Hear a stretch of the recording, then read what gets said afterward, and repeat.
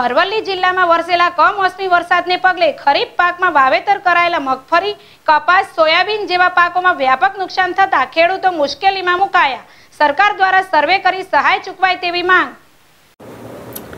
અરવલ્લી જિલ્લામાં વરસેલા વરસાદે ખેડૂતોને ચિંતામાં મૂકી દીધા છે. અરવલ્લી જિલ્લામાં ખરીફ સિઝનમાં કુલ બે લાખ હેક્ટર જમીનમાં ખેડૂતોએ જુદા જુદા પાકોનું વાવેતર કર્યું છે, જેમાં સૌથી વધુ ચોપન હજાર હેક્ટર જમીનમાં મગફળી તેત્રીસ હજાર હેક્ટરમાં સોયાબીન, અઠ્યાવીસ હજાર હેક્ટર જમીનમાં કપાસ, ચૌદ હજાર ચારસો પાસઠ હજાર હેક્ટરમાં જમીનમાં દિવેલા, નવ હજાર હેક્ટર જમીનમાં ઓડર જેવા પાકોનું વાવેતર કર્યું છે. વાવેતર બાદ પાક તૈયાર થઈ જવાના આરે હતો તેવામાં વરસેલા વરસાદે પાકને મોટું વ્યાપક નુકસાન કર્યું છે.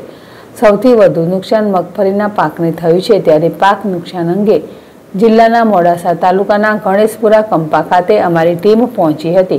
ત્યારે આ કંપાના ખેડૂતોએ કુલ એક હજાર બસો વીઘા જમીનમાં માત્ર મગફળીનું વાવેતર કર્યું હતું. મગફળીના વાવેતર બાદ ખેડૂતોએ સારા ઉત્પાદનની આશા રાખી મગફળીનો પાક બહાર કાઢી સૂકવવા માટે મૂક્યો હતો.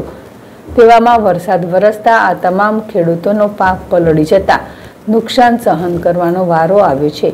પાકની પરિસ્થિતિ જોતા મગફળીમાં ભેજ જતો રહેતા મગફળી કાળી પડી ગઈ છે. જેથી આવી મગફળી ટેકાના ભાવે પણ રિજેક્ટ થાય તેવી સ્થિતિ ઊભી થઈ છે. ત્યારે અકારે વરસેલા વરસાદે ખેડૂતોના મોઢામાં આવેલો કોળિયો છીનવી લીધો હોય તેવી પરિસ્થિતિનું નિર્માણ થયું છે અને આ ખેડૂતો આ માટે તંત્ર યોગ્ય સર્વે કરી સહાય ચૂકવાય તેવી માંગ કરી રહ્યા છે. ઉલ્લેખનીય છે કે આવી સ્થિતિ આ એક કેમ્પના ખેડૂતોની નહીં પણ જિલ્લાના અનેક ખેડૂતોને થઈ છે. નમન પંડ્યા જેડેશ ટીવી અરવલ્લી.